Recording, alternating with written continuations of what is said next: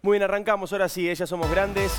Lo decíamos, la Argentina está absolutamente conmovida con lo que ha pasado luego de la denuncia de Telma Fardín contra Juan D'Artés. Hoy hubieron muchas novedades, hubo muchas novedades eh, a la tarde. Habló finalmente Juan D'Artés, culpó a la chica, culpó a Telma de lo que había pasado, la responsabilizó. Salió rápidamente otro actor que trabajaba en aquella novela en Patito Feo, Juan Guilera, a desmentir a Juan D'Artés, así que hay mucha información. La noticia espeluznante que acaban de dar Nico y Luciana también de la denuncia de un abuso ni más ni menos que en el Senado de la Nación. Está el tema vudú también, porque ha quedado libre vudú, la justicia idiota de la Argentina que libera y sigue liberando a los poderosos. Muchos temas, todos serios, todos importantes, todos profundos, para hablar esta noche con Jorge Fernández Díaz, nuestro gran invitado, periodista, escritor, articulista, ensayista y realmente un hombre que piensa a conciencia de los problemas de la Argentina y además durante muchísimos años de su vida se dedicó a investigar, a pensar y a escribir sobre los vínculos personales, sobre los vínculos entre hombres y mujeres,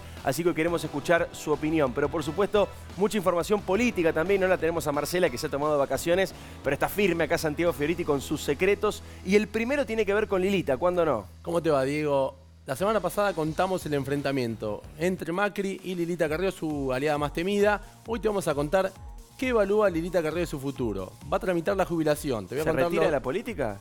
Te lo voy a develar hoy. Muy bien. Lo que te voy a contar sí o sí es que está tramitando en forma urgente la jubilación, se lo pidió a Fernanda Reyes, una dirigente de su íntima confianza, y te voy a decir si termina o no su mandato antes de 2021. Tremenda la información que trae Santiago y además el otro secreto para esta noche tiene que ver con las causas en la justicia de la familia Macri, la incómoda relación entre Franco Macri y sus hijos. Uno es el presidente de la nación. Así comienza Ya Somos Grandes.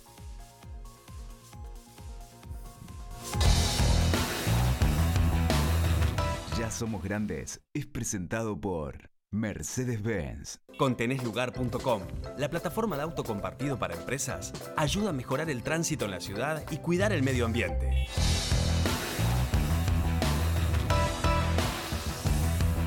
Muy bien, señores, comenzamos este programa. Jorge, gracias por venir. ¿eh? Buenas noches. Eh, es un lujo estar acá, no, no te escuché bien, por ahí podemos subir un poquito el micrófono de Jorge. Eh, lo decía recién en el comienzo, cambió la Argentina luego de la denuncia de Telma Fardín, estamos ante un nuevo paradigma. Hoy habló Carlos Rivero a la salida de tribunales y dijo algo parecido. Dijo, por primera vez como mujer siento que tengo lugar, me siento poderosa, me siento escuchada. ¿Qué está pasando? Argentina es algo que venía pasando eh, en todo Occidente, en las democracias occidentales. Hay una revolución eh, de la mujer eh, de manera impresionante, por lo menos de hace 20 o 30 años, eh, la mujer pasando por arriba, por encima a los hombres con mucha más emocionalidad, con mucha más tenacidad. La mujer siempre ha sido una sobreviviente y lo está demostrando ocupando cargos cada vez más importantes. Em, y me parece que lo que estamos viendo también tiene que ver con la tecnología. Antes era difícil el, encuentro entre, entre varios. Hoy, la tecnología hoy permite que los indignados de Francia se reúnan rápidamente y, que, quemen París. Digamos. Estamos ante una, em, un, nuevo mundo eh, donde em, me parece que los neo-regionalismos, eh, los nacionalismos son eh, hijos de la revolución tecnológica y me parece a mí que las denuncias de las mujeres eh, también porque eh, muchas de estas cosas ocurren en las redes sociales, que es un punto de encuentro, un nuevo ágora donde debatir todo esto. Me parece que es un, nuevo espacio público para debatir los temas que le preocupan a la sociedad. Y para organizarse de manera muy, rápida, y muy contundente, para encontrar solidaridad en causas. Me parece que es un paso extraordinario el que dieron las actrices. Em, me parece que, esto es necesario. El tema de los abusos es mucho más grande que el abuso sexual. Creo que ahora va a haber una cadena. Bueno, nosotros estamos eh, poniendo, eh, me hace el pie perfecto, Jorge. Eh, D'Artés la punta del iceberg. Porque claramente el caso de Artés es tremendamente conmocionante, porque se trata de dos personas conocidas, porque se trata de un entorno además de mucha gente famosa y muy querida por la sociedad. Me refiero a las actrices que han denunciado, a la chica que ha denunciado también lo que le ha ocurrido. Se trata de personajes famosos y eso naturalmente resuelve y explota. Pero lo que viene a demostrar es una trama de muchos años, que lleva muchísimo tiempo y que está en todos lados. El abuso como dominación de poder está en todos lados, permanentemente. Y es centralmente culpa del hombre, porque el hombre mayormente es el que ha ejercido el poder, ha ejercido el poder eh, de esta manera, de manera cruel. eh, y muchas veces impune, muchas veces impune eh, contra la mujer. La mujer ahora no se calla, se organiza, denuncia, eh, pasa a la ofensiva, que eso es lo que tiene acojonados, como dirían los españoles, a los hombres, porque pasa a la ofensiva. Eh, me parece que tenemos que ser muy cuidadosos. Primero dar la bienvenida a esto porque me parece que es justicia pura. Y después ser muy cuidadosos los medios de comunicación. Es un nuevo paradigma, como vos decís, es una eh, novedad y los medios de comunicación, enseguecidos por el rating, por la audiencia, por lo que sea, tienen que ser muy cuidadosos porque se trata de delitos privadísimos, se trata de... Y, y me parece que una cosa es una denuncia judicializada, otra cosa es una denuncia mediática, otra cosa es un linchamiento mediático y otra cosa es una casa de brujas o, un- o una utilización de una causa extraordinaria, noble como esta, para, o para hacer política o para vengarse de alguien. Entonces, los medios de comunicación tenemos que ser ¿Y hoy, y hoy crees que están a la altura, Jorge, los medios? Yo creo que los medios de comunicación no están a la altura todavía porque es algo nuevo y porque han demostrado que con otros casos han hecho cualquier cosa por el rating. Cualquier cosa por el rating. Entonces, me parece que los, los periodistas tienen que tener cuidado, ser muy cuidadosos con esto y ser estudiosos en general. Es decir, yo vengo abogando porque eh, los periodistas abandonen eh, nada más mirar el, el puro presente, que tengan una mirada un poco más Totalmente. amplia, que el periodismo no sea un gran océano de, de 10 centímetros de profundidad, que se estudie, que se vea más allá de la foto. Eh, estos Bueno, es que cuando, perdóname Jorge, ¿no? Pero eh, eh, para ir picando, porque me encanta lo que estás diciendo. Cuando uno analiza el fenómeno del Too en los Estados Unidos, lo hizo extraordinariamente bien Adriana Amado el martes en el programa de Mi Viejo. No es porque sea el programa de Mi Viejo, realmente fue maravilloso lo que contó. Ella analizó el rol del periodismo en los Estados Unidos y allí el periodismo tuvo un rol casi protagónico. Pero no digo protagónico porque figuró más, sino porque tuvo un rol de investigación y de apoyo luego en las denuncias muy impresionante. Eh, ella contó, por ejemplo, que el primer caso que denuncia The New York Times eh, tenía 13 testimonios de respaldo eh, y eso hace que el periodismo sea más robusto y estamos justamente necesitando esto, sobre todo en una época donde todos estamos aprendiendo a Así es. manejarnos con estas nuevas cosas. ¿no? Esto, esto forma parte de la nueva agenda de derechos humanos del siglo XXI. En el mundo, En el mundo, por lo menos en Occidente. en Occidente. Eh, el, el tema de la, de la igualdad, el tema de género, forma parte de la agenda de derechos humanos. Aquí estaba muy atrasada, la agenda de derechos humanos estaba muy atada Estamos al pasado. 50 años atrasados. Sí, con- y ahora de repente se modernizó eh, y toda la sociedad se va a tener que hacer cargo de esto. Mi miedo siempre es que una causa tan noble sea bastardeada eh, por intereses o cosas por el estilo, por eso es que mm, eh, insisto en la responsabilidad de los medios de comunicación frente a esta novedad. Te llevo a lo, a lo vincular, a lo personal. Eh, has escrito libros sobre las relaciones entre hombres y mujeres, has hecho con mucho éxito, además en Radio Mitre, ese personaje eh, espectacular del Doctor Amor. Eh, y, y- y te quiero preguntar sobre un mini experimento que hice el otro día en la radio. Eh, le pregunté fuera de aire, naturalmente, a, todas las mujeres, ¿eh? a las que estaban en la mesa de, aire, a las que estaban en la producción, a las que colaboran con otro tipo de actividades en la radio. ¿Alguna de ustedes, alguna vez, se sintió incomodada por un compañero, por un jefe, por un superior, por algún hombre con el que compartían cierto ámbito? Y en la radio, por lo menos en la radio, todas, absolutamente todas, dijeron que en algún momento, no estoy hablando de acoso, estoy hablando de por lo menos incomodidad ante una actitud excesiva de un compañero, de un hombre que estaba cerca. Y las actrices cuando denuncian lo de Telma, dicen que Sagay justamente hizo una encuesta en la cual casi el 70% de las actrices habían dicho, en, privado, eh, no públicamente, en privado, que alguna vez habían sufrido algo así. Pero Entonces digo, esto es no muy es un extendido problema. el fenómeno. Claro, no es un problema de los medios de comunicación, no es un problema del mundo del espectáculo. Es Esto ocurre en la sociedad, ocurre en los barrios, ocurre en los trabajos. Eh, no hay mujer que no haya sentido alguna vez alguna de estas, de estas cosas. Acá, hay- acá hay que ver las gradaciones, por supuesto. Una cosa es una molestia, otra cosa es una violación. También en eso hay que ir este, discriminando. También tiene que ver con que las, las relaciones ahora ocurren mucho a través de, de los chats, de Facebook, eh, de manera virtual. A tal punto está ocurriendo que mucha gente tiene relaciones amorosas a distancia sin llegar a tocarse jamás. Eh, sienten el amor, el apasionamiento, el desgano y el desamor sin haberse tocado. Van, van con esos casos insólitos a, a psicoanalista eh, este, los psicoanalistas se tienen que, que ver con estas relaciones puramente digitales. De hecho, Digo hace poco esto- salieron notas de- donde contaban que los millennials, justamente, cada vez tienen menos sexo. Por justamente este tipo de Claro. vínculos más eh, virtuales. Claro, porque no sabemos todavía cómo eh, la revolución tecnológica va a impactar en chicos que pueden ver una, una porno o una película erótica a los 8 años desde su teléfono. Nosotros, yo tengo 58 años, para mí conseguir una, una película erótica era Una aventura clandestina cuando tenía 17, 16, 17 años. Hoy la, el erotismo está a, a golpe de clic. Eh, y eso eh, lo, que está, lo que está mostrando es una falta de una baja libidinal, es una baja eh, en el erotismo muy impactante. Pero las relaciones, como todas se están, o muchas de ellas se manejan a través de redes, de redes a través de, de chats, quedan registros. Quedan registros.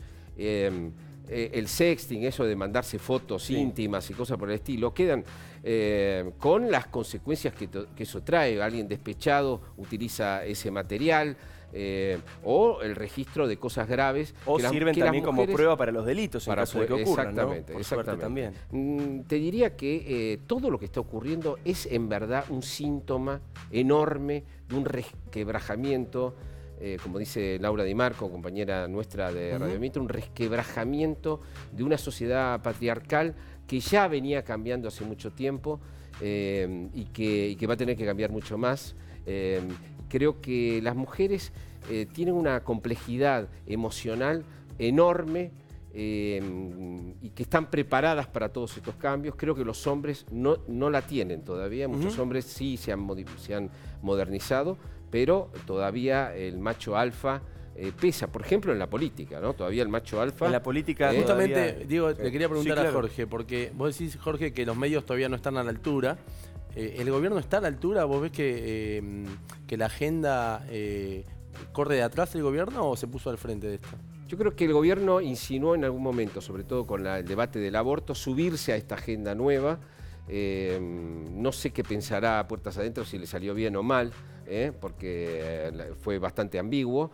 Eh, me parece que eh, tiene figuras muy importantes. Es decir, ha, ha apostado por María Eugenia Vidal, es una de las figuras más importantes de la política, es mujer, Lilita Carrió, eh, pero todavía el- el- aún este gobierno, que parece un gobierno más, más vinculado al siglo XXI que, que para atrás, después vemos las cosas que se vienen o mal, pero parece más moderno que otros, aún así tiene todavía resabios de machismo porque eh, son los resabios de, de- de- de la sociedad en la, en la que se cree. ¿Sabés Y- lo que y- cuentan? y- Perdóname, agrego una- un datito simplemente. Lo hemos discutido mucho en la radio también. Eh, y lo que cuentan muchas, casi todas las mujeres de todos los espectros del espacio político es eh, a los cargos visibles, eh, ahí está ya un poco más abierto el asunto. Hay ejemplos notables, digamos. Cristina, Vidal, etcétera, hay gobernadoras, eh, mi vicepresidente y demás. Lo que dicen es que todavía los partidos hacia adentro no logran romper con esa estructura machista y que a las mujeres le cuesta crecer dentro del partido. Una vez que ya se hacen visibles, por ahí es un poco más fácil, pero que dentro del partido, en lo oculto, todavía les cuesta muchísimo. Todavía la rosca es un asunto Sí. eh, de hombres y eso algo, es algo que tiene realmente que cambiar. Eh, estamos hablando con Jorge Fernández Díaz, eh, es muy interesante, Jorge acaba de publicar un libro, en un rato lo vamos a mostrar también, hay muchos temas para hablar, eh, está el caso de Vudú, hay mucho, mucho para contar y, recién Nico y Luciana contaban también este tema del abuso en, el Senado, ¿no? O por lo menos la denuncia de abuso del Senado. Y, bueno, muestra este fenómeno que vos planteabas Jorge de que está muy extendido en la sociedad. Y quiero insistir con un punto porque se habla poco de esto, lo mencionaste recién, pero quiero profundizar, el rol de los hombres. ¿Qué hace un hombre? Porque también hay de todo y también está discutido. Me acuerdo que en una de las marchas de Ni Una Menos había un sector, el más radicalizado, que no es tampoco el más eh, masivo, pero sí es un sector que, hace escuchar mucho, no quería hombres en la marcha. No, no quería que, que hubiera hombres en las marchas de Ni Una Menos. Y hay otro sector que dice, no, no, tiene que haber hombres también porque finalmente los que tienen que entender que esto está cambiando son los hombres. Las mujeres ya lo entendieron a la fuerza y de la peor manera hace rato, ¿no? Claro. Y están ellas Digo- impulsando. El hombre, ¿cuál es el rol? Lo peor que puede suceder con esta, con esta causa es eh, los extremismos, que es caer en el ridículo y en, y en- y en, eh, ideas, las ideas eh, maniqueas que, que- que existen en toda revolución. En el sentido, hay gente muy jacobina que dice el, el hombre es el malo, la mujer es el bueno. Todo- todas esas son verdaderas tonterías. Eh, creo que hay mujeres que han ejercido el poder eh, de una manera mm, masculina, Mm. te diría. Por ejemplo, Fálica. Cristina Kirchner, Cristina. Cristina Kirchner eh, ejerció el poder de una manera eh, masculina, con una crueldad y reforzando la idea, esa idea masculina de líder, de macho alfa del peronismo, que tanto daño le causó a la Argentina, me parece, porque es una figura femenina que en realidad mm, actuaba como, como un hombre. ¿no? De hecho, en, su- en Entonces, su- en su- en todo su gobierno no hubo ningún avance en favor de los derechos de las mujeres. Así es. Ni así siquiera es. menor. Y después eh, están las mujeres que son las principales verdugas de, la- de las, los principales verdugos de las mujeres. Es decir, cuando una, muchas mujeres que yo he visto en el trabajo llegan a posiciones eh, y son principalmente con las mujeres eh, Mm. terriblemente injustas, las persiguen más que los hombres Bueno, todavía. hay muchas mujeres machistas, claro. Muchas mujeres machistas y muchas mujeres eh, cuidando los lugares eh, como, como si hubiera pocos lugares, entonces cada una que consigue un lugar es muy severa con todo. Por supuesto, hay de todo, hay mujeres que son líderes mu- eh, poco tóxicas y gran, este, grandes líderes in- interesantes y, y realmente femeninas que eh, me parece que es tan importante. Por ejemplo, en la literatura, la, la heroína es, eh, es la heroína mujer es la gran novedad de- del siglo XXI. El, el hombre como héroe es Bueno, un eso ya te marca una cuestión cultural claro, impactante. el 70%. Que recién el siglo XXI haya recibido a las mujeres como heroínas de la literatura eh, significa justamente el, el atraso y la, y la- y la- y la matriz que, que- que por la cual estamos viviendo. Mira, la, la mujer se prepara mucho más que el hombre en términos generales, no, no quiero ser injusto, ¿no? Eh, el 70% de los que compran libros son mujeres, el 70% de los que leen novelas son mujeres. Eh, la mujer tiene una, está muy eh, preparada, muy, se cultiva verdaderamente y se prepara de una manera espectacular y por eso en todo el mundo está pasando por encima de muchos hombres. También los hombres se han tenido que, cambiar, se han- frente al avance impresionante de la mujer que trastoca los sentidos de poder dentro de la pareja y dentro del mundo laboral, los hombres se han tenido que hacer más emocionales, han tenido que trabajar la inteligencia emocional, que era algo natural, innato de la mujer. Bueno, hoy se lo piden a un gerente cuando entra en una empresa. Y bueno, y este, y este de inteligencia emocional, ¿cómo está? Y eso que era algo de la... Ese es el triunfo impresionante cultural Y es de muy las sano, mujeres. Es muy ¿no? sano todo lo que está Sí. pasando. Muchos temas, no solamente este para conversar. ¿eh? La liberación de Amado Vudú, indignante, terrible. Liberaron a su socio también, José María Núñez Carmón. En un rato vamos a darte detalles, vamos a analizar eso con Fernández Díaz. Está Jorge Macri también con nosotros para hablar de Vudú, para hablar de la investigación judicial que ahora pesa sobre la familia Macri eh, en la causa de los cuadernos. Es primo el presidente de la Nación, por supuesto, además de intendente. Vamos a estar conversando sobre ese tema. Lilita ¿se retira de la política, Lilita? Se jubila y se retira, Santiago Fioriti te lo cuenta. ¿Cómo es la relación entre los Macri? Franco, ¿cómo se lleva con sus hijos? El presidente de la Nación, Mauricio, ¿qué piensa de su padre, que dicho sea de paso está muy enfermo y eso ha dicho en la justicia y por eso no ha podido asistir? Pero lo contábamos hace un rato, lo contaba Nico, lo contaba Luciana. Está el caso este de esta nueva denuncia. En este caso se trata de una denuncia en el Senado. Eh, lo estamos viendo. Una empleada del Congreso denunció judicialmente a un senador de la Nación por abuso sexual. Información exclusiva que contaba recién Nico y Luciana en Noti Central hace un ratito. Eh, hay más información, Santi, vamos, vamos complementando. Sí, dale. esto lo va a investigar el fiscal Delgado, Diego. Eh, no vamos a dar el nombre del senador, como bien decías vos. Ujú. por La justicia ha pedido que no se nombre a ninguno de los dos y por supuesto en estos temas tan delicados hay que respetar lo que pide la justicia. Es parte de lo que planteaba Jorge de entender y respetar un poco más en estos temas tan delicados. ¿no? Se Es un pedido de la justicia de que no se nombre a ninguno. Se trata de una empleada administrativa que dice que el senador la manoseó y que la hostigó por WhatsApp constantemente. O sea, hubo contacto físico según la denuncia. Sí, exactamente. Ahí tenés un textual, Diego. A ver, el senador estipuló que mis funciones fueran desempeñadas desde mi domicilio. Esto dice la denunciante. Nunca tuve con el senador un trato de amistad ni de confianza, sí de respeto por su función. Esto es parte de la denuncia que eh, acaba de contar eh, Nico y Luciana aquí en TN. Ilusamente pensé que trabajar junto a él era un lugar indicado para mí, era el lugar indicado para mí. Para mí era un desafío profesional por mi formación académica. El senador nunca leyó ninguno de mis informes. Esto es otra cosa habitual, ¿no? Eh, vincular el trabajo o las oportunidades o posibilidades laborales con algún intercambio íntimo sexual. Al mes de empezar a trabajar con el senador en cuestión, empecé a recibir mensajes de WhatsApp a mi teléfono celular que conservo actualmente. Prueba, eh, Sí. que dice que ella tiene allí. Eh, de esos mensajes me decía, ¿dónde estás? ¿Dónde vivís? Voy a estar por allá, me doy una vuelta, prepárate que voy a tu casa. Me enviaba videos alusivos al sexo. Quiero aclarar que yo no tenía vínculo alguno con él, ni de confianza ni de amistad. Este tipo de mensajes me los enviaba constantemente y varias veces por semana. Y termina la denuncia de la siguiente manera. Dice, eh, una vez que nos encontramos solos, directamente me tocó los pechos y me preguntó cuándo íbamos a tomar un café. Me dijo que guardara su llamado, que en cualquier momento nos veíamos. Sí, es un caso que preocupa mucho ya entre los senadores, se ha comentado bastante hoy eh, y creo que va a seguir escalando. Eh, nos cuentan que cerca del senador hay mucha preocupación y están evaluando si va a hablar o no en las próximas horas. Muy bien, la última eh, que teníamos que la quiero repasar a ver si podemos volver a la última eh, porque tiene que ver con la actitud posterior a ese encuentro tan, tan complicado, ¿no? Eh, que ella contaba, comenta que luego del encuentro la siguió llamando. Eh, esta persona, este senador, la siguió llamando a ella y que ella nunca lo atendió y que, bueno, siente asco y, por supuesto indignación y está, haciendo, y está haciendo esta denuncia judicial. Lo contamos pues la información del día. Van apareciendo casos, recordemos que eh, aumentaron un 240% las denuncias de abuso en el número 144. Esta es la placa. Mira, los días siguientes al episodio me llamó insistentemente a mi teléfono celular para que nos veamos. Yo nunca atendí, sentí asco y mucho miedo por lo que había sucedido.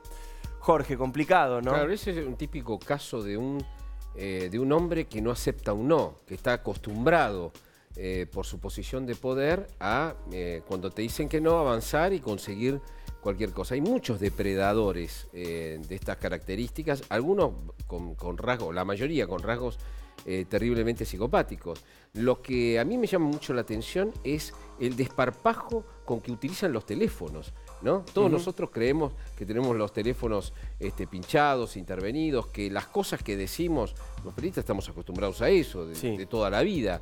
Este, pero ¿No hay ahí un puntito de impunidad?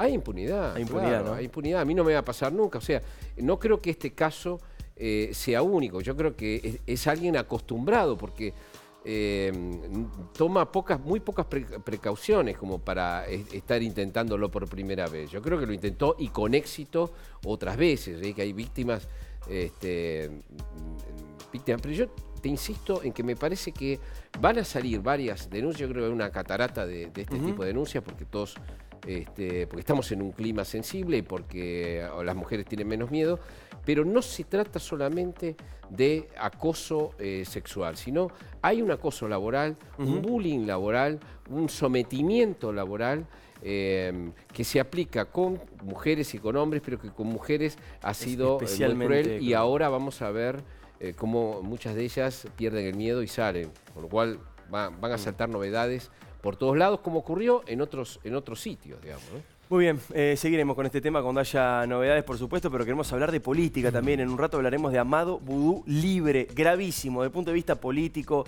institucional, social, cultural. Es de una gravedad absoluta. En un rato voy a tratar de ensayar mínimamente una posición sobre esto que ha ocurrido.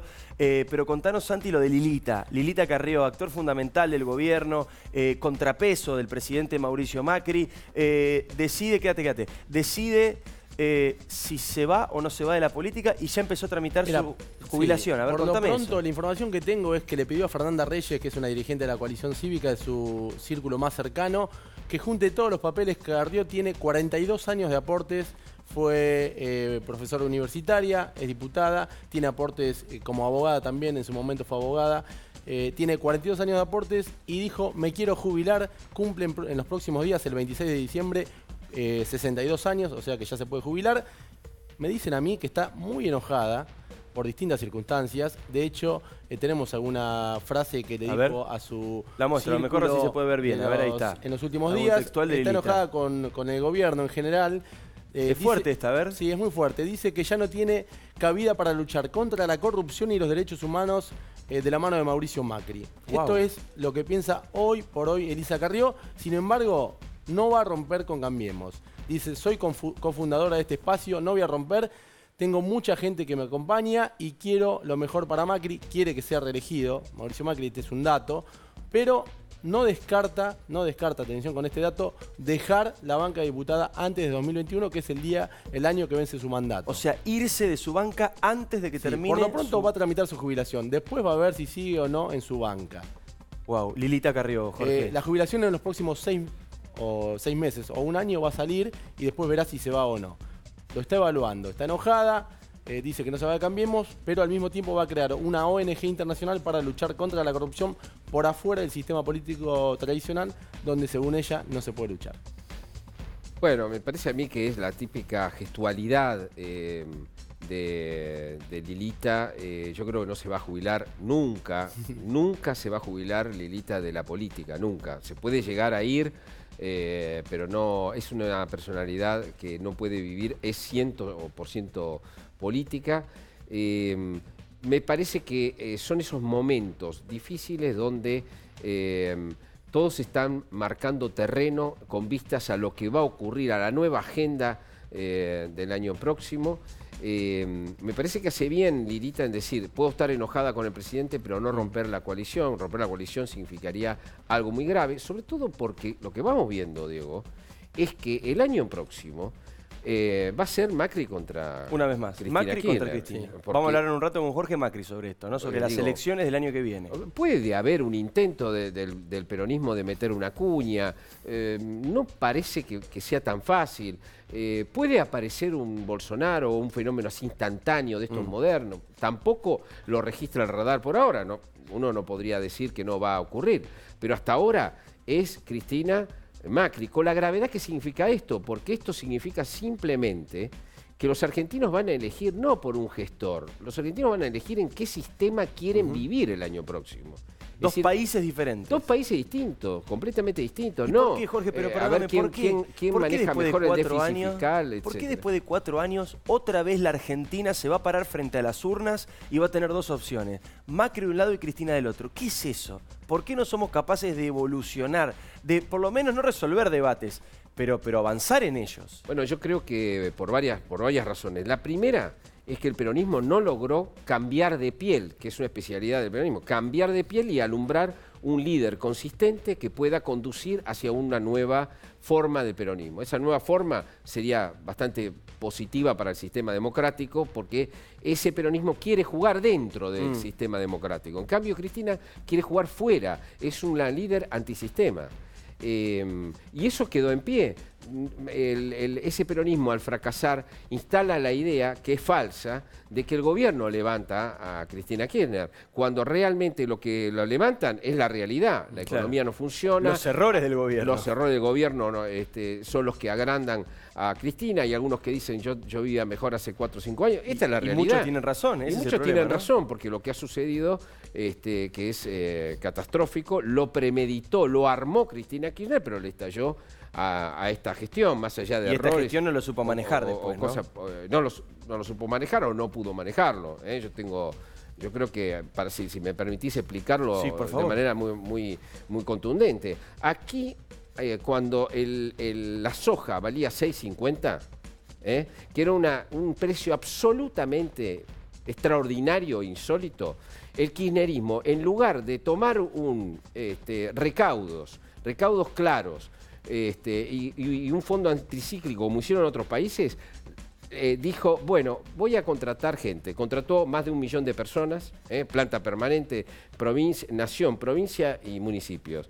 Eh, dio eh, a jubilados que nunca habían aportado de manera, hizo to- creó todo un sistema para siempre, como si para siempre la soja estuviera a 6.50. ¿No? O sea, fíjate la irresponsabilidad, ¿no?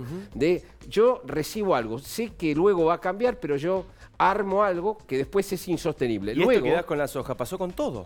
Con Pero la esto- energía, con las Claro, reservas. porque con después cuando todo. la soja cayó, Cristina dijo, ¿y ahora cómo, cómo banco esto? Fue cuando ella dijo, voy a hacer la sintonía fina. No se atrevió y entonces todo lo que hizo fue acabar con todos los stocks, comerse las reservas y entregar un país inviable. Este, esta es la bomba verdadera. Ese país inviable lo recibe Macri, en lugar de ser un, un shock de entrada, que quizás se lo hubiera llevado puesto o no, o tal vez lo hubiera salvado, o si un ajuste gi- gigantesco, se empieza a endeudar para que se sienta menos el golpe. Hasta que la- la- el, el- el- la- el financiamiento se terminó y el, el mercado produce una mega devaluación que los coloca en esta situación. Este- esto que estamos viviendo es a donde no- nos caímos al lugar, no un lugar inmerecido, al lugar, yo sé que es eh, impopular lo que voy a decir, al lugar que merecíamos como país por haber creado una cosa absolutamente insustentable. Con la soja, la soja es la única turbina de verdad de la Argentina. Esto también desnuda que no hubo una política industrial En lo más mínimo. consistente, porque si tuviéramos una política espectacular industrial, tendríamos otra turbina y no la tenemos. ¿Y el fin- tenemos seguimos teniendo la soja. ¿Y el final es abierto para vos electoralmente hablando? Y el final ahora es muy este, abierto.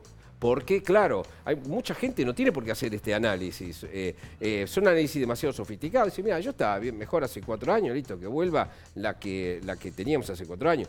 De todas maneras, tiene mucha resistencia Cristina porque lo que plantea es un país, un país. Yo escucho mucho a, a mucha gente que está muy enojada con Macri, pero que no quiere vivir en ese país de Cristina, en ese país que fue vivado eh, en ferro, fue vivado en ferro mientras se vivaba al chavismo, se vivaba a la revolución cubana. eh, eh, como contraposición al G20, que era, bueno, por lo menos un país, ahí parecía que éramos un país normal, no lo somos un país normal, ¿no? Estamos viviendo una era que se llama el pospopulismo. Pospopulismo, ¿eh? de las más difíciles de todas. Nos miran algunos intelectuales del mundo como, una, como un raravis. Nadie salió de un populismo institucional. Antes, recordemos, los populismos eran cruelmente sacados de, de escena por, por los golpes militares, pero hoy existen. Es decir, este gobierno eh, se enfrentó, el Senado es peronista, la Cámara de Diputados es, peronista, la Cámara, eh, la, magistratura es peronista, los sindicatos todos son peronistas,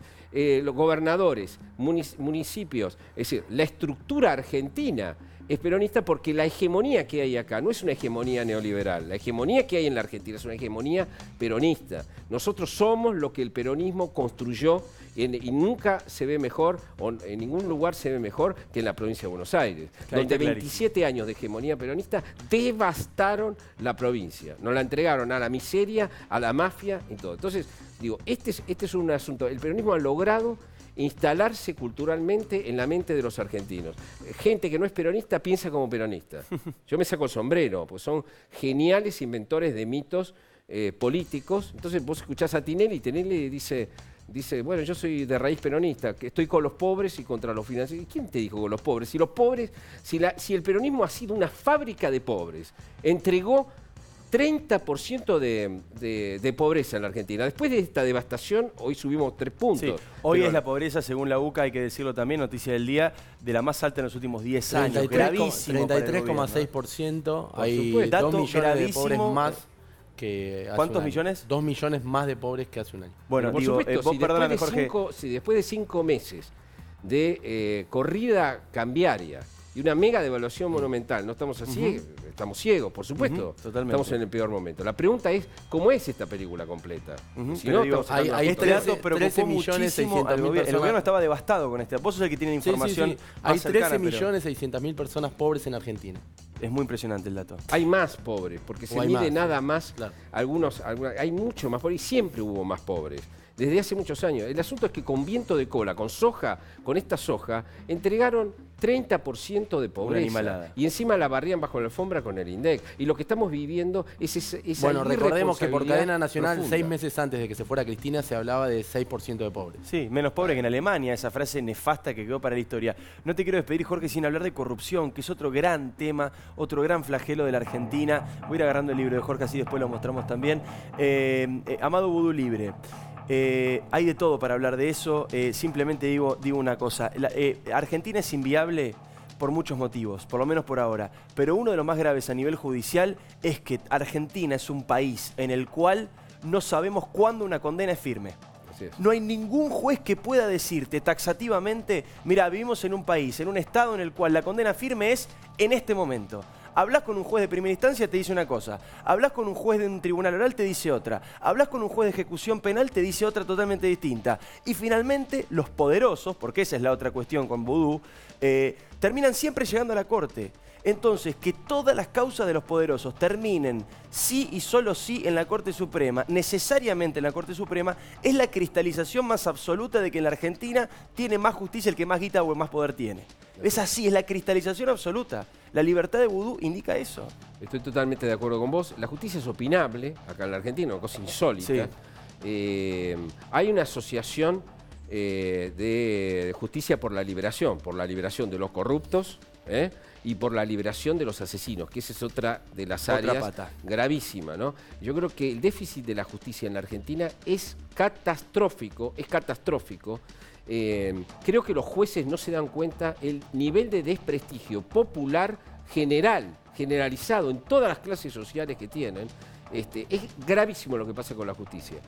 Me parece que a la vez eh, la justicia dio algunos buenos resultados cuando toma un lavallato, toma eh, los cuadernos este, y, y va, y va a fondo. Y por primera vez, eh, 110 de los hombres más poderosos, de las corporaciones más poderosas de la Argentina, tienen que pasar por Comodoro Mm. Entre Pi ellos los Macri, la familia y son- Macri. Y entre ellos los Macri, me parece perfecto que los, que los citen eh, a, a declarar y que tengan que dar explicaciones. Entonces, eso me parece de lo más positivo que ocurrió este año. El asunto es que con esta justicia, ¿a dónde va a parar este asunto? Tal vez a la nada.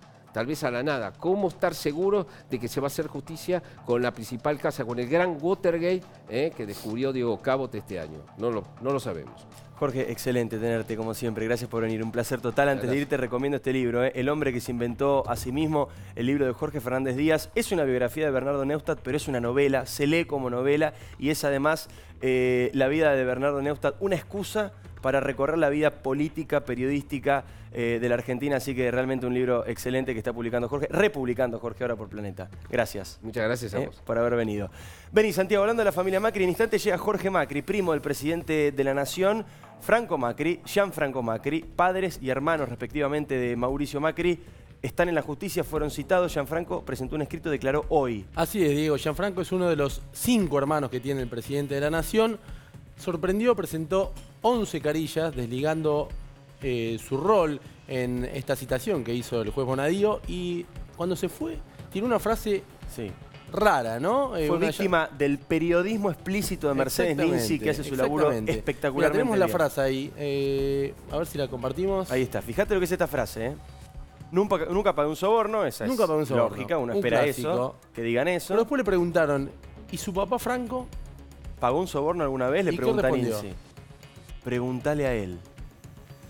Llamó la Dos veces atención. pregunta a Mercedes Ninzi, ¿tu papá pagó un soborno? Y dos veces Gianfranco Macri dice, pregúntale a él. Exactamente. ¿Cómo es la relación en esa familia? Mira, eh, Mauricio tiene una relación, tuvo una relación muy difícil con Franco, muy difícil desde chico. Eh, hoy me cuentan que está bien la relación, Macri, eh, Mauricio se ocupó de reconstruirla, el padre está muy grande, está muy enfermo. Eh, me dicen que está en paz, después de haber tenido años difíciles. Muy difícil, lo ha dicho el propio Eh, presidente lo, varias lo ha veces. contado. Mira, te voy a contar una anécdota que no llegamos a hablarla en producción, pero es ilustrativa, que me la contó el propio Macri hace muchos años, o sea que la tengo de primera mano, y que grafica un poco cómo es el vínculo entre Mauricio Macri y Franco Macri, cómo fue, ¿no? Resulta que ellos jugaban al ajedrez muy seguido. Siempre ganaba Franco, siempre. Y lo verdeaba mucho a Mauricio. A tal punto que eh, Mauricio Macri empieza a tomar clases para tratar de ganar del padre. Efectivamente, un día le gana eh, al ajedrez. ¿Sabes qué hace Franco? ¿Qué hace? Guarda las piezas, guarda el tablero y nunca más juega al ajedrez. Increíble, ¿eh? Eso te demuestra un poco la competencia que había entre, entre ellos. Macri cree haber saldado eso siendo presidente. Eh, y Franco en algún momento le dice estoy orgulloso de vos y cree Macri, eh, Mauricio, que logran saldar esa relación tirante que tuvieron muchos años con ese reencuentro que tuvieron con Macri ya presidente. Macri ya presidente. Jorge Macri está aquí en el estudio con nosotros, primo del presidente de la Nación, intendente además de, de Vicente López. Jorge, gracias por venir. Un placer. ¿Cómo afecta esto en la familia Macri? Franco, Gianfranco en la justicia. Gianfranco hoy tuvo que declarar. Franco Macri no se sabe si lo hará por cuestiones de salud. Ah, Primero yo festejo vivir en un país donde se pueda citar a, a familiares del presidente y, y nadie presione, nadie intervenga. La verdad que a mí me da orgullo eso, porque no es fácil como familiar saber que tu padre y, y tu hermano pueden estar o están citados a indagatoria y que pueden o no, eh, digamos, quedar imputados en una causa, que es algo que te puede pasar cuando vas a la justicia. Eh, al mismo tiempo me sorprende en un punto la citación, porque la verdad es que del 2001 la tenencia accionaria es muy baja, eh, no tenían ni un director en el directorio de Autopista del Sol. Eso declaró hoy Gianfranco. Sí, y es un un dato real. Tenía el 7%, El de, 7%. Los actores, de, la- de las acciones. Eh, pero bueno, esos son los argumentos que, que justamente serán parte de la defensa. No, no había, no había control político sobre la empresa y la verdad que Ausol no tenía nada que ver con el corredor de la autopista del oeste. Ahora, si el juez tomó la decisión de citar a todos los operadores de autopistas para entender cómo funcionaba el sistema, lo lógico sería que también cite a los controladores mayoritarios de todas esas eh, concesiones, no a los minoritarios. Pero bueno, es parte de- del derecho que tiene la justicia y bueno, supongo que esto será lo que justamente hoy aclaró Gianfranco. Respecto de Franco, eh, yo he estado con él hace no tanto tiempo y es difícil sostener Su una tío, charla sí, con mi tío. ¿Por qué es difícil sostener una charla? Porque se va, porque no está bien, porque está con algunos rasgos de senilidad, digamos. Eh, Viste cuando estás hablando con alguien y de golpe se te fue y cuando vuelve Mm. es como arrancar de nuevo. Cosa que también es tremendamente dolorosa y ojalá no fuera esa la razón para no ir a, a declarar a la ¿no? justicia, porque verlo así duele.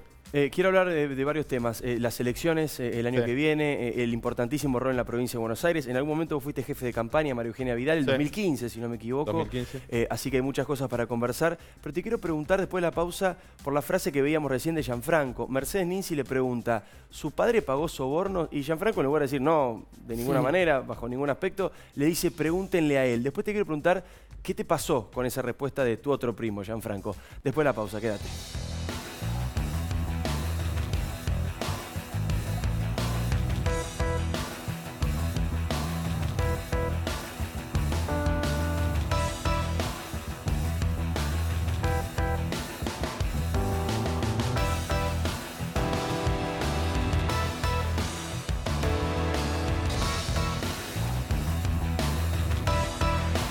Se estima que la demanda de litio crecerá un 300% en los próximos cinco años y Argentina cuenta con el 17% de las reservas de la región. El futuro es ahora. Adrián Mercado, Comercio Exterior, generando cadenas de valor para el sector minero. En la Universidad de Palermo buscamos alumnos originales, con ideas, únicos. Universidad de Palermo, otra forma de estudiar. Directo a escenarios inolvidables. Preparado el mejor momento. Venite a San Juan.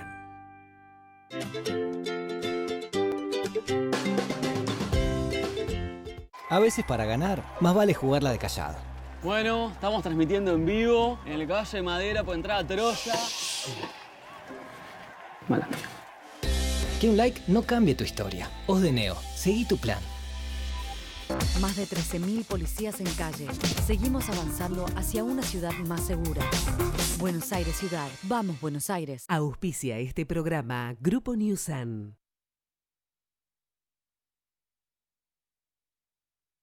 Sí al 99% de cloacas, a tener uno de los índices más bajos de mortalidad infantil de América Latina.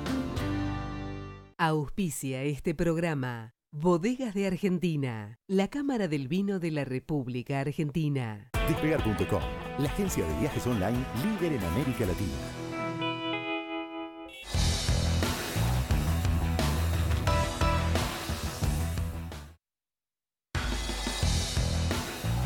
Muy bien, seguimos acá en Ya Somos Grandes. Eh, la frase que está acá atrás mío, fíjate, mírala.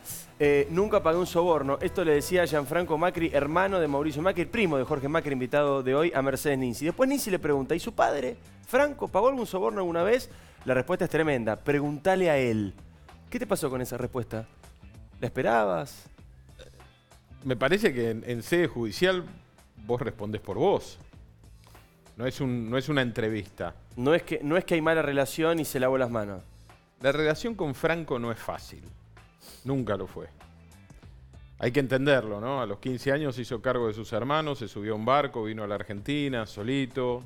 La mamá los había abandonado en Italia. El papá había armado otra familia acá.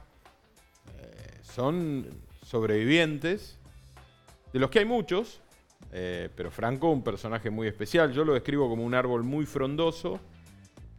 Abajo de un árbol muy frondoso es difícil que algo florezca, ¿viste? Algunos psicológicamente se pelean con el árbol, otros se alejan. Mauricio se alejó, construyó su propio lugar, por eso creo que sanó su relación. Para Gianfranco la relación con, con Franco ha sido difícil, pero no creo que esta, que esta respuesta tenga que ver con el no cariño. Además, Gianfranco es, es un buenazo, es un, Mm. es un oso cariñoso, digamos. Eh, ti- pero tiene que ver, me parece, más que con el, Con el ámbito y qué sé yo. Eh, Cada uno responde ¿no? en, en una causa por lo que le toca. Quiero hablar de la provincia de Buenos Aires. Eh, intendente de Vicente López y, y ha sido en 2015 ca- eh, jefe de campaña María Eugenia Vidal. ¿Hay riesgo de conflicto en diciembre? Porque es uno de los principales miedos de la clase política y de la sociedad en general, ¿no? Digamos que después del 2001 a todos nos quedó una preocupación. Hoy en día hay una serie de mecanismos institucionales Mm. para llegarle a los que necesitan eh, asistencia que yo creo que hace prever que no vaya a haber conflicto. Además veo mucha responsabilidad en la mayoría de los intendentes, de todos los colores políticos, tratando de llegar rápido, de asistir, de estar cerca. Nadie quiere un conflicto en su distrito, nadie. No es negocio para nadie. No quiere decir que no vaya a haber reclamos o algún problema, habrá que asistirlo, atenderlo y está bueno prepararse por si eso ocurre porque siempre las fiestas son un momento de una carga emotiva adicional, ¿no? ¿Cuáles son esas herramientas? no? El bono de fin de año, por ejemplo, ese tipo de cosas. Sí, bueno, eh, desde, el, desde Desarrollo Social de Nación y de provincia hay muchísimos instrumentos para los sectores más vulnerables. En mi caso, yo en Vicente López estoy desarrollando sistemas para clase media. Una clase media que está pasando por un momento difícil, pero que no está acostumbrada a pedir. Y te digo algunos.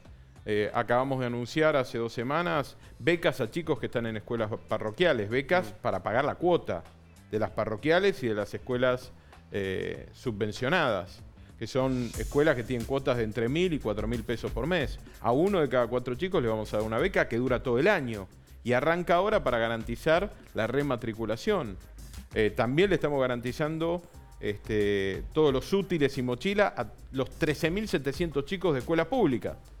Y hace dos días anunciamos un sistema de asistencia con bonos a más de 6.000 jubilados que son clase media. Es la típica clase media argentina. Gente que laburó y que hoy no llega y que por ahí el hijo no lo puede ayudar.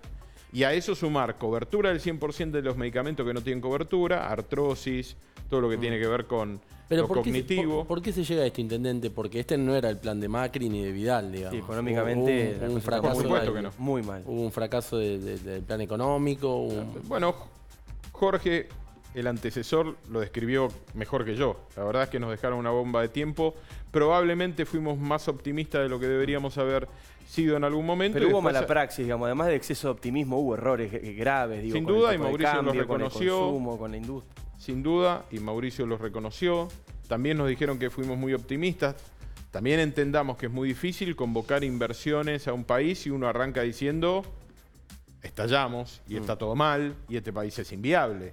Digo, ese equilibrio entre transmitir la preocupación, pero también que se entienda que tenemos un camino posible, me parece que es un camino difícil y complejo. Y la verdad que este año que termina fue medio una tormenta perfecta. La sequía, la desaparición del financiamiento externo, la lucha comercial China-Estados Unidos, no son actores ajenos a nuestros problemas. Ahora, sin ninguna duda, describir no alcanza. Y yo por eso tiendo la mano a la clase media y me parece que tenemos que hacerlo.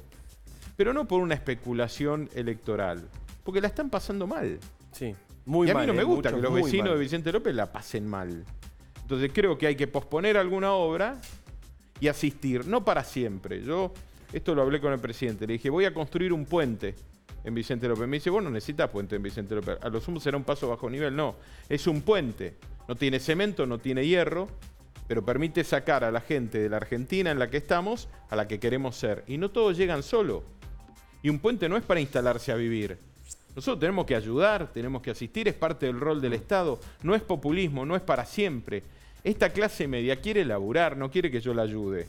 Ahora, tampoco quiere tener que cambiar a su hijo de colegio porque no llega con la cuota. Y eso no nos sirve, porque además eso es un chico que igual llega a una escuela pública, una escuela pública tal vez muy demandada, y tal vez una escuela parroquial que tenga que dar de baja a trabajadores. Entonces yo también estoy defendiendo estudiantes, estoy defendiendo familias y laburo. Me parece que sería bueno que muchos intendentes copien este tipo de medidas y te digo por qué. Estamos con poquito tiempo, pero cierra Sí, pero muy rápido. El gobierno nacional ha ha sido muy generoso en la administración de los recursos. Ha federalizado mucho los recursos. El, el kirchnerismo tenía todo concentrado. Llegamos y había 21 provincias en rojo, la mayoría de los municipios en rojo, y hoy hay 21 provincias en superávit y muchos municipios con recursos. Entonces, si vos tenés plazo fijo y sos la matanza, no podés mirarla de afuera. Y no es solamente el bono de 18 mil pesos a los trabajadores. La matanza tiene necesidades y tiene 8 mil pesos en plazos fijos. Esa es una definición de valores y principios. Gracias, Jorge Macri, Gracias por haber venido. Eh, no se vayan, después de la pausa hay más información sobre la denuncia por abuso contra este senador. Información que tiene que ver con los nombres eh, de los protagonistas. Ya venimos.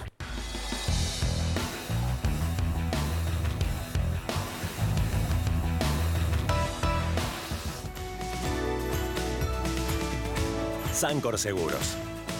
Detrás de la sonrisa de Mariana y la de más de 5 millones de asegurados. Con el celular o la computadora podés consultar y pagar tus boletas de inmobiliario, automotores y embarcaciones. Elegí digital. Tus impuestos ya no necesitan papel. Arba, Buenos Aires Provincia. Volkswagen Group Argentina. Vienen a visitarnos. Entre todos, hagámonos sentir como en su casa. Singenta. Incorporamos a la vida el potencial de las plantas. Hacete fanático al ritmo del Kini 6 y vení a festejar todas las semanas. Municipalidad de la Ciudad de Córdoba. Si vivís en Vicente López, ante un hecho de inseguridad o emergencia, llama al 109, un número rápido y gratuito. Mendoza. El viaje de mil viajes. Mendoza, Argentina. Mira los debates en vivo, entérate de cómo votaron los diputados y sumate a las actividades de la Cámara. Entra en diputados.gov.ar.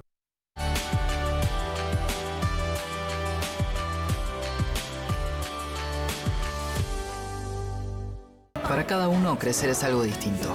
Lo importante es tener quien te acompañe. Me parece que hice un video. Banco Ciudad. Te quiere ver crecer. Nos estamos despidiendo, es pasadísimo como siempre, pero la información de último momento tiene que ver con el nombre de este senador denunciado por abuso. Primicia de todas noticias, vamos. Así es, Juan Carlos Marino, 55 años, pampeano, senador, senador de la Unión Cívica Radical, dos hijos casado, quiere ser gobernador de La Pampa. Creo que con esta denuncia se le va a complicar y mucho. Muchas gracias, Santi. ¿eh? Buenas noches. eh, gracias por haber estado acá también. Eh, buenas noches a todos. Muchas gracias, Fuy Sabor, por la comida para el equipo. Y gracias, gracias de verdad a todos ustedes por estar siempre del otro lado. Nos vamos, nos vemos la semana que viene en Ya Somos Grandes. Chau.